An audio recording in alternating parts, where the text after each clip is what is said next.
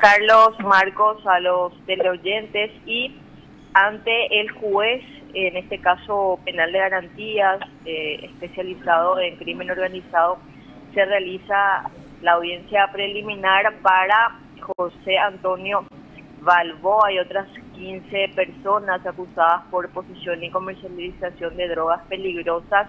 Em, según el Ministerio Público, Balboa lideraba un esquema que traficaba en el Departamento Central de Droga. Inclusive, eh, él mismo en su momento había sido precandidato a la concejalía de Luque, inclusive llegó también a ser funcionario de dicha municipalidad y posteriormente comisionado al PSJ. Escuchemos lo que nos mencionaba el fiscal antidrogas Isaac Ferreira con relación a esta investigación y también la detención del mismo este año en julio pasado.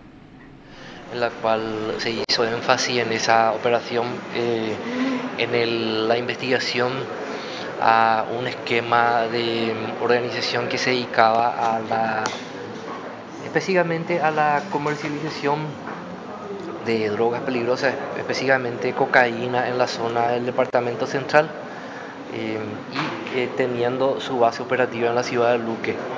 el esquema criminal estaba eh, dirigida por el señor José Antonio, Antonio Balboa Benítez y con 15 personas que estaban dentro de ese grupo criminal estas personas eran oriundas de, Luque o, también habían de otras ciudades, doctor?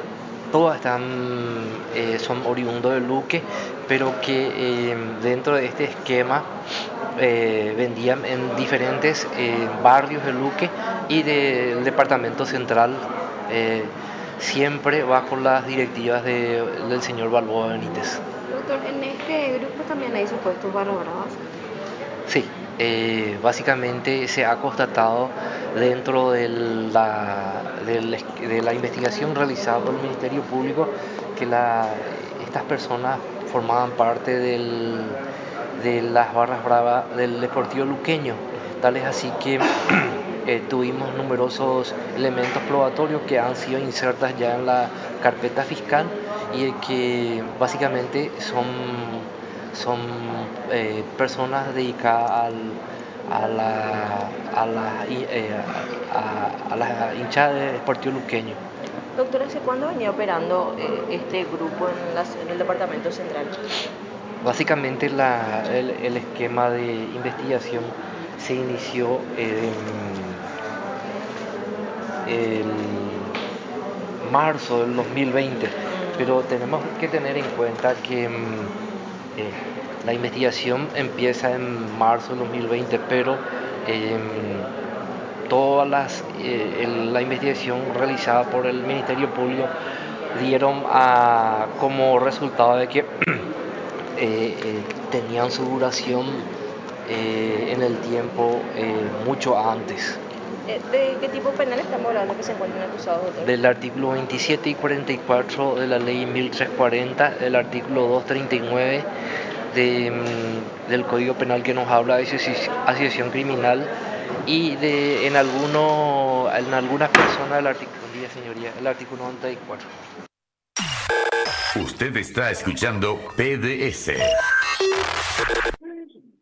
La audiencia preliminar, reiteramos entonces, se realiza en la sala de juicios orales número uno, aquí en el segundo piso, ante el juez Gustavo Amarilla. Un grupo se encuentra también em, asistiendo a esta preliminar por medios telemáticos, telemáticos digo bien, ya que un sector se encuentra, em, un grupo de seis se encuentran recluidos en la agrupación especializada y otro grupo se encuentra aquí en el Palacio de Justicia de Asunción. Por otro lado, también hablando de otro caso en donde eh, se encuentran recluidas en el Buen Pastor Mar Marol Licel Servit Laila, Liz Caterine Laila Villalba eh, y en este caso Bruna Regina Martins, quienes habían sido imputadas por lavado de dinero.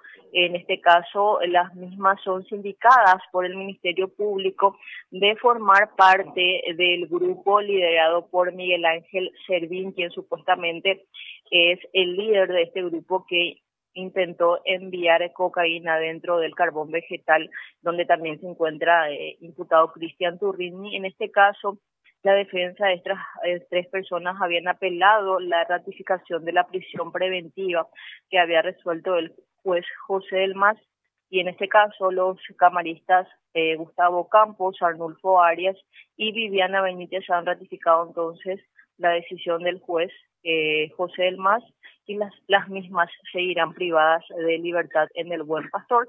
Reitero, imputadas por lavado de dinero, ya que supuestamente han conformado empresas de maletín a fin de alguna manera de también eh, ingresar dentro del sistema económico nuestro el dinero proveniente del narcotráfico. Son algunas de las novedades que tenemos en esta calurosa jornada del 20 de diciembre. Sí, hace mucho calor, Perla, ¿verdad?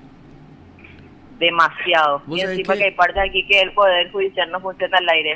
No, vos sabés que la, ah, me estaban diciendo desde, desde, temprana hora que es insoportable la esplanada del Poder Judicial. Ahí me refleja mucho el mármol y, y, el mármol proyecta mucho calor. Es como un espejo grande. Pues. Sí.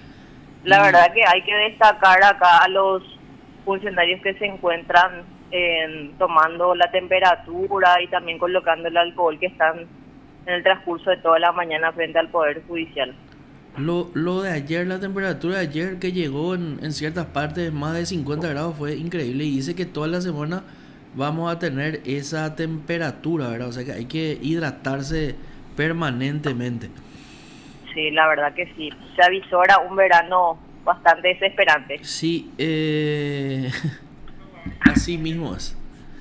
Pero... Para irnos a Granja Hotel Guadalajara. Así, eh... Pero Jacula Guarajuela, vos sabés que quema. Yo estuve ayer por el campo también y el pasto. Ni aún, ¿verdad? No, quema. Se aguantaba. El sol eh, es insoportable legalmente. Esta mañana temprano uno salía al baño y ya sudaba todo mientras se vestía, igual con aire y todo ya.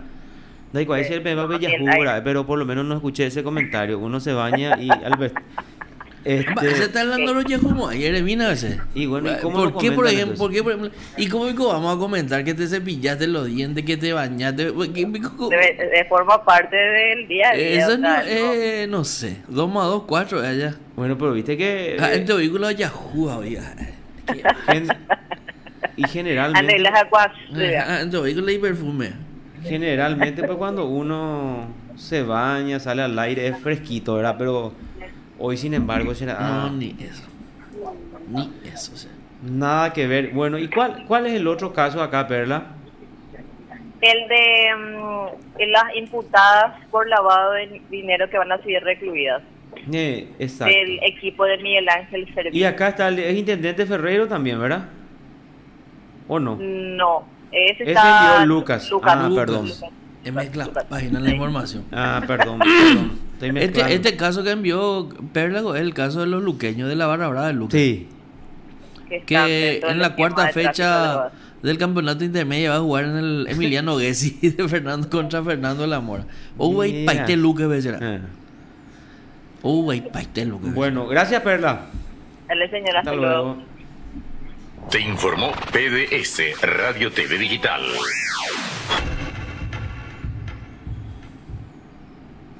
Perla Silguero entonces desde el Poder Judicial. Sí,